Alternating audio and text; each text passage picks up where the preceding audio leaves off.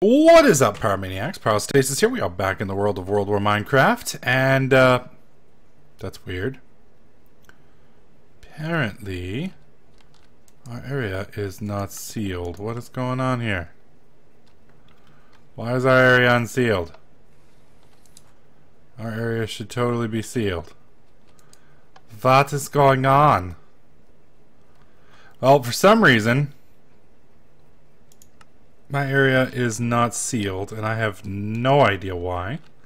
Something is up. Uh, the only thing I have changed is uh, way out there, so that, that shouldn't really be affecting anything. At least I don't think.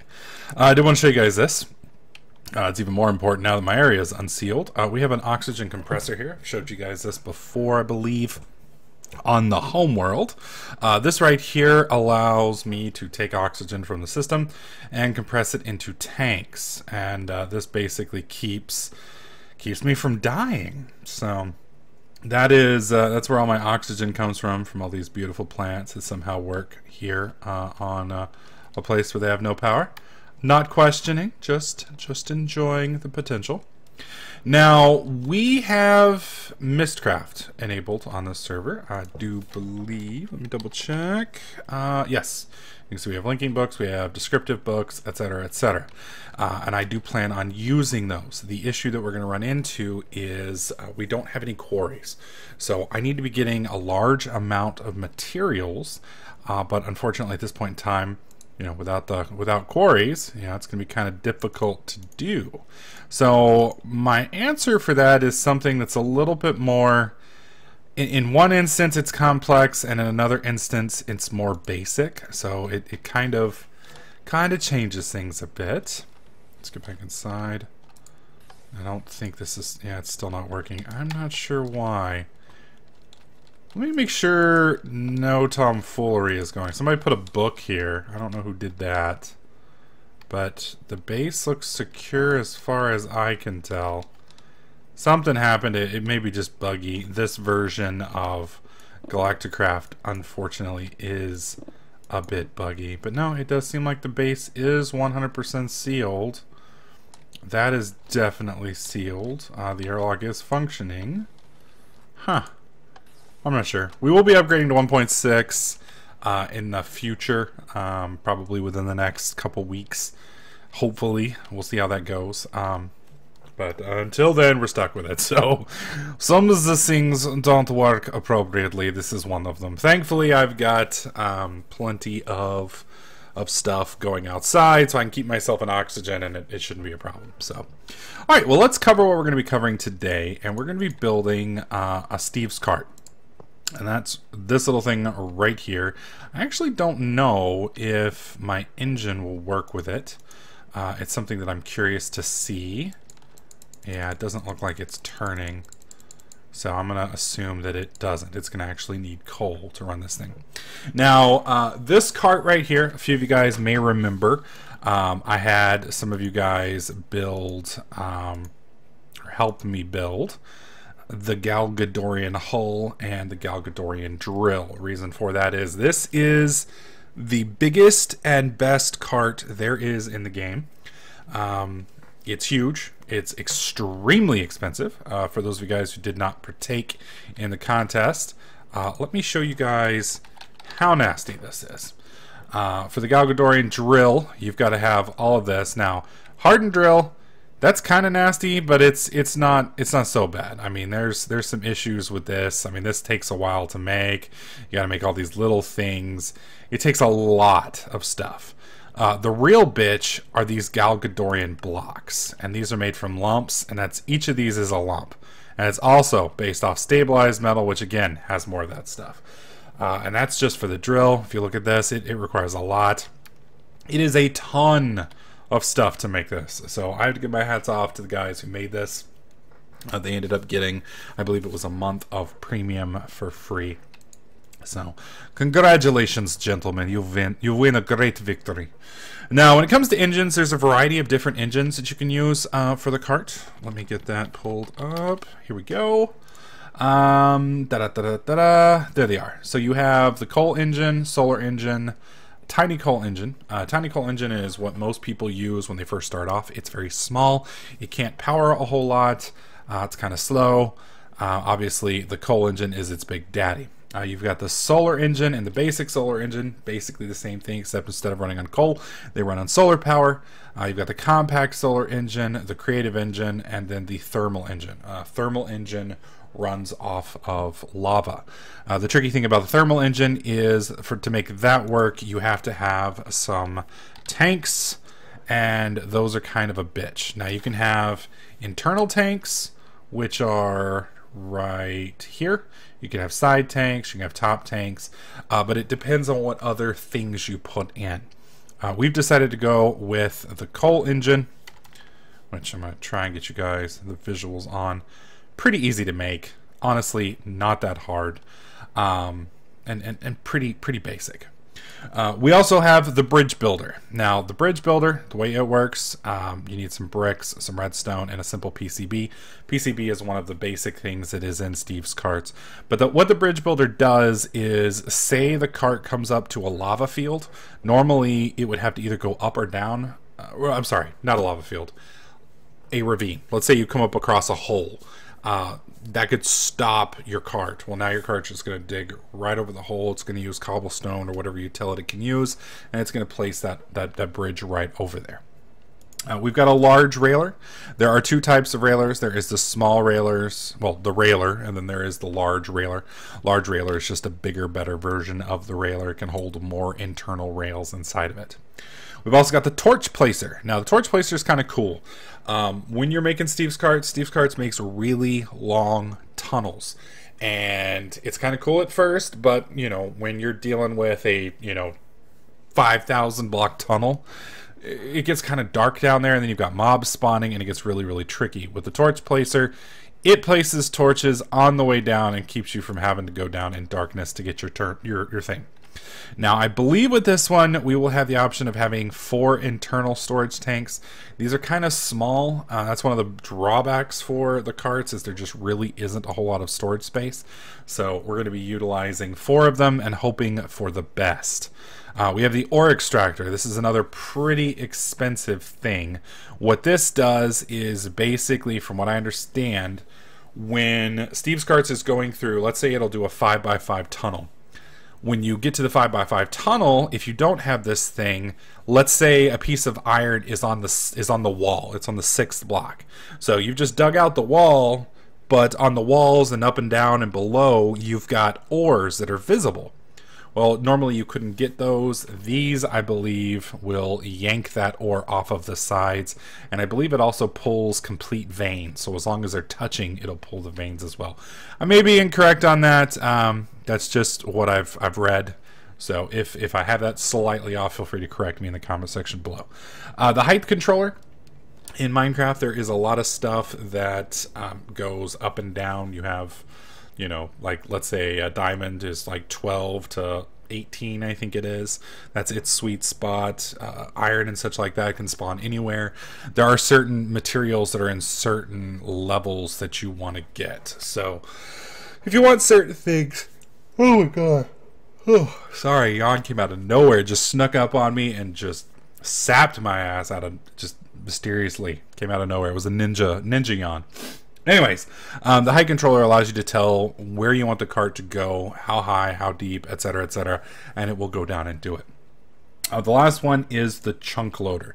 Uh, the chunk loader, what it does is it sets it up to where it's a it's always loaded. Uh, that's one of the problems with the carts is the cart goes out, you know, a thousand blocks, and then it's outside of your range and it shuts down because the chunk isn't loaded into memory. It doesn't come back. It just sits there. With the chunk loader, it will go till it runs out of power, it runs out of railers, or its inventory fills up and then it will return. So it's a nice little feature to keep it from uh, from getting lost out there. And you definitely don't want it lost. I mean, these things can dig some pretty freaking gnarly tunnels, and it sucks. So definitely don't want that to happen. Now, there's quite a few other modules that we can do if we want. Uh, the problem with some of the other modules is um, I, I, most of them just don't have features that I want. You know, there's stuff you can get that will, whoa, hit the wrong button. and hit it multiple times. Oh, we're in trouble now. I think I just broke Minecraft. Come on, Minecraft. Don't shit on me. Please don't shit on me. You can do it. Oh, damn it. Alright, well. I think I broke Minecraft. Would not be first time. Alright, so we're to go ahead and skip ahead uh, until we get the uh, World War Minecraft loaded back up. And I'm to show you guys one of the other massive drawbacks on this mod. So be right back. So back after that minor snafu. Okay, so you're gonna notice that our hull capacity is a thousand, our complexity is 150, total cost is 494. Um, we've pretty much got it well under. The thing you're gonna notice right here, it's gonna take seven hours to complete this cart. That's absolutely ridiculous. So if you were to do this normally, it would take forever.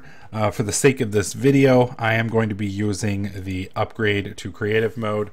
What this basically does is it allows me to finish, or it should allow me to finish this instantaneously. If I can figure out where it goes. It's supposed to, it's supposed to fit in there. I don't understand. I'm a little confused. So what well, what the hell? Oh, that's kind of cool. That you can place it. Uh, can you slap it inside of there? Hmm. Alright, well, I'm going to try and figure out how to make this creative thing work. We're going to spit this thing out real fast, and then I'll show you guys how it works. Understand, uh, you hold shift and click, and that's supposed... There we go. Alright, so shift right click, you see we've got a creative mode on there now. And you can see it says ready to assemble cart, and it's just going to work with no problems. Otherwise, it would take a ridiculously long time. All right, so now we've got our cart, and I just want to show you guys this before we uh, we do a little test run on the moon. And I don't know if I can even place it down without rails. Okay, let me go grab some rails, and I'll show you guys what this is capable of doing. All right, so I've got some rails. Um, now, these rails are a little bit different than normal rails because we don't have uh, what do you call it railcraft installed so they're they're pretty easy. You just need a stick and some iron. They're they're very simple in fact uh, and if you want to use some other icons you can even get ridiculous amounts of these little things going. Uh, but let's go ahead and get our we'll set it up like this and we should be able to put him down we want to bump him so he turns around oh no stupid cart oh god come here come here come here did I get him? I think I got him. Alright, let's try this again. Alright, easy, easy, and... No, I don't want you facing this way! Alright, we're gonna have to put some more carts down here. Alright, uh, we'll put a... Here. Do this. God, that mine's fast! Gotta love Tartarite. Alright, so we'll push that there, and then he should bounce off of it. Well, he'll bounce off of it here in a second. I think. Actually, no, he won't. He'll dig right through it, won't he? Oh, stop, stop, stop, stop, stop. Perfect. Perfect. Okay. We're good. All right, so this is the interface. Now, you got to be careful with the interface because uh, if you hit it, and we're going to go ahead and activate the chunk loading, I think we don't have access to... Why isn't it? Oh, well. All right, so we've got torches here. Let's put our torches in here and you can see the light level here. So if you want to turn it up or turn it down, it'll set it up to where basically how dark it has to be before the torches will start placing. Uh, we've got railers here, so we're going to go ahead and put railers in there. And then let's go ahead and dig out, uh, we're going to need some of this stuff for, uh, we're going to use this basically for, good God. Dude, this is faster than creative. Have I mentioned how much I love this? Okay. Come here, guys. Come here. Stop flying. Get in my belly. Alright, that should be plenty for the... There we go. For our bridges. Oh, please tell me it'll... Oh, it won't let me use dirt. So I must have to use cobblestone. Do I have any cobblestone back here? Let me check. I mean, I know I've got plenty in there. I may actually have to go and get some from uh, from the planet. Uh, Shit. I can try Netherrack. I don't think Netherrack's gonna work, but we can give it a shot. We'll seal you. And I don't think there's any cobblestone on this planet, so if it doesn't take Netherrack, we're kind of bummed.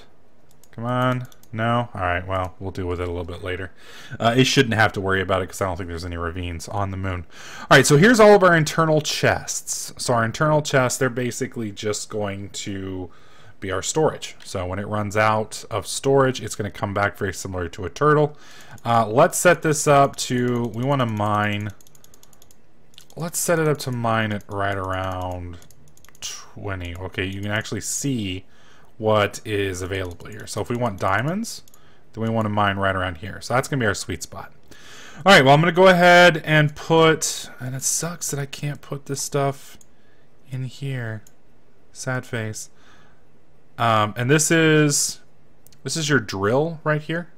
Now, normally the drills have a, um, a durability and the more you use them, the the harsher it gets durability wise. But uh, since we have a Galgadorian drill, it's like, bitch, I don't care. It can do everything. So we're gonna put that on, and there we go. Chunk loading has been activated, and you can see how fast this thing mines. It's ridiculous. And I believe it's 9 by 9. Look at how deep it is. There it goes. It's finally gotten to the point where it doesn't mind the surface anymore.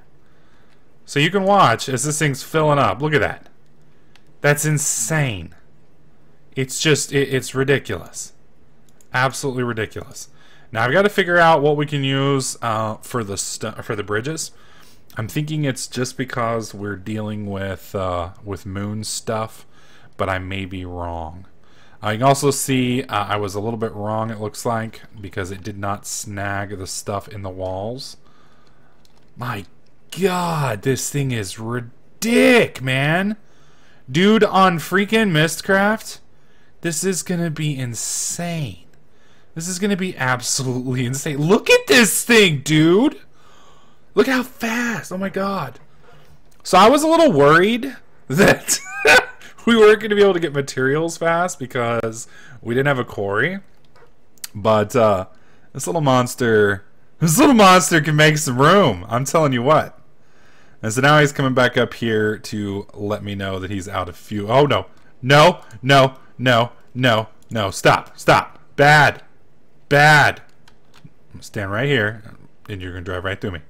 Okay, well, that almost sucked. That almost sucked. he had some space left, so he was able to do that.